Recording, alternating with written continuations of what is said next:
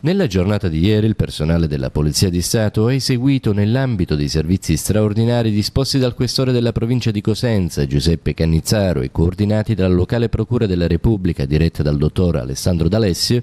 diversi controlli nella città del Pollino e nel suo interland, finalizzati al contrasto del traffico di sostanze stupefacenti. In particolare il personale della squadra di polizia giudiziaria del commissariato di Castrovillari, congiuntamente all'unità cinofila della questura di Vibo Valencia, ha fatto accesso all'interno di un complesso residenziale nella frazione Doria di Cassano allo Ionio e nel corso dell'attività di polizia è stata rinvenuta in un'area di bita verde pubblico nei pressi delle case popolari sostanza stupefacente del tipo cocaina, suddivisa in 15 dosi per un totale di circa 11 grammi ed eroina in pietra, suddivisa in 49 dosi per un totale di circa 44 grammi. Il servizio proseguito in città ha consentito di rinvenire e sequestrare ulteriore sostanza stupefacente stupefacente per un totale di 130 grammi di hashish. La droga, seppur occultata all'interno di un box di un condominio del centro cittadino, non è sfuggito al fiuto del cane poliziotto Max. La sostanza stupefacente sequestrata avrebbe fruttato in debiti introiti per un totale di circa 3.500 euro.